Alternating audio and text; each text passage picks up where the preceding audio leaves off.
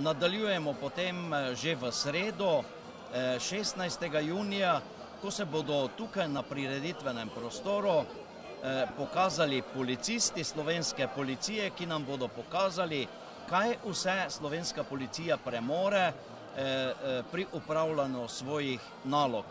Eh, Tako rekoč eh, do 27. junija eh, bomo v občini Videm praznovali, ne le ob vikendih, tudi čez teden bomo praznovali, prijazno vabljeni, vse informacije, številni dogodki se bodo zvrstili, pa najdete na Facebook profilu, eh, tudi vaše televizije, eh, našega Facebook profila občine Videm in pa na spletni strani občine Videm.